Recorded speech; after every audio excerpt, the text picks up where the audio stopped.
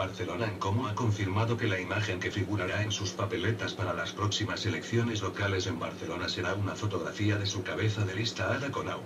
Repetirá así la estrategia utilizada por Podemos en las elecciones europeas, donde la foto de su líder, Pablo Iglesias, figuraba en lugar de un logotipo para facilitar el reconocimiento de la candidatura.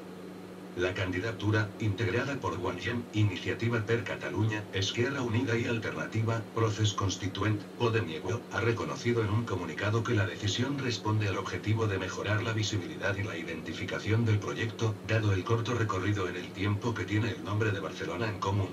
La CUP, junto a otras organizaciones de carácter anticapitalista, presentará lista propia.